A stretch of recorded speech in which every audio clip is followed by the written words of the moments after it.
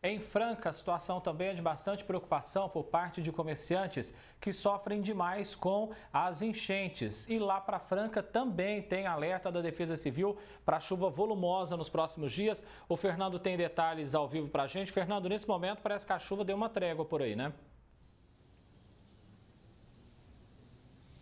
Olha, André, a situação aqui na cidade é a seguinte: chove, para, chove, para. Uma hora vem uma chuva um pouco mais forte, depois alivia um pouco, assim como vocês podem reparar aí em casa. Mas olha, a sensação desses comerciantes, desses moradores, dessas avenidas marginais daqui de Franca é realmente de desespero, viu? Além de desespero, André, muita revolta também. Isto porque eles relatam pra gente que no período em que não teve chuva, no período de seca, eles não viram obra alguma sendo feita aí nesse local, nesses locais, aliás, para que esse problema fosse solucionado. Isso, claro, traz muita revolta para eles e com razão, né? Imagina só você ter que viver ali com a expectativa de que o seu comércio ele seja invadido pela água, assim como aconteceu diversas vezes nas avenidas, especialmente a Avenida Hélio Palermo, Antônio Barbosa Filho e também a Doutor Ismael Alonso e Alonso.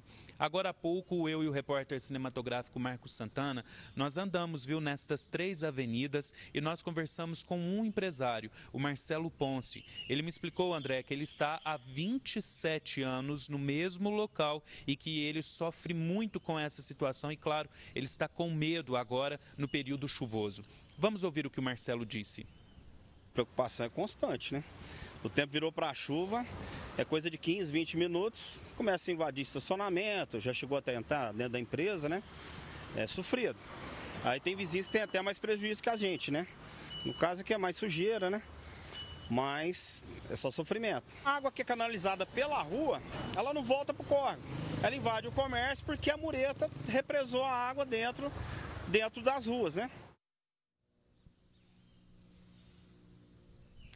Marcelo contou ainda que isso, inclusive, atrapalha até o movimento lá na lanchonete dele. Além disso, ele ficou muito revoltado porque ele contou que o imposto para ele se manter ali na Avenida Hélio Palermo é muito alto e ele não vê isso retornando para ele em serviços.